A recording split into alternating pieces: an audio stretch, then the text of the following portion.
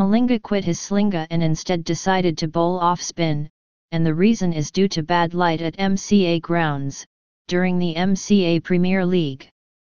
After being left out of Sri Lanka squad for ODI series against Pakistan, Lasith Malinga used his time to play domestic cricket.